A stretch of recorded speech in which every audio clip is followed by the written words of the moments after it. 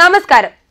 Corporation പരിധിയിലെ പൊതുസ്ഥലത്തെ തെരുവ് കച്ചവട സ്ഥാപനങ്ങളിൽ മാംസാഹാരങ്ങൾ വിൽക്കപ്പെടരുതെന്ന് ഉത്തരവിട്ട് അഹമ്മദാബാദ് മുനിസിപ്പൽ കോർപ്പറേഷൻ. നേരത്തെ വഡോദര നഗരസഭയും സമാന ഉത്തരവ് പുറപ്പെടുവിച്ചിരുന്നു.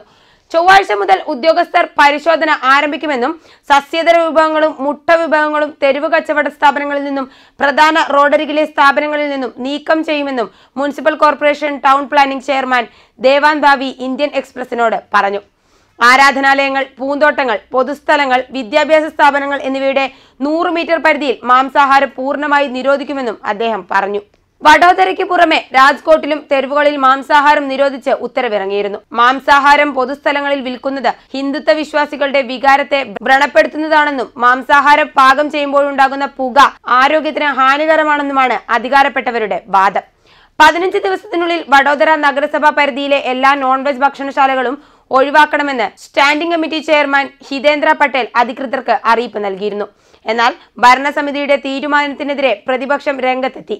ആളുകൾ എന്തു കഴിക്കണമെന്ന് രാഷ്ട്രീയ പാർട്ടിക്കോ സർക്കാരിനോ തീരുമാനിക്കാൻ അവകാശമില്ലെന്ന് പ്രതിപക്ഷ നേതാവ് അമീർ റാവത്ത് പറഞ്ഞു. മാംസാഹാരം വിൽക്കുന്ന കടകളുടെ സമീപത്തുകൂടെ പോകുമ്പോൾ ഭക്ഷണത്തിന്റെ മണം കാരണം നിരവധി ആളുകൾക്ക് ഓക്കാനം അനുഭവപ്പെടുന്ന പരാതിയെ തുടർന്നാണ് നടപടിയെന്ന് വഡോദര മേയർ പറഞ്ഞു. പരാതികളെ തുടർന്നാണ് മാംസാഹാരം പരസ്യമായി വിൽക്കുന്നതിനെതിരെ നടപടി തുടങ്ങിയതെന്നും അദ്ദേഹം വിശദീകരിച്ചു. News desk national news.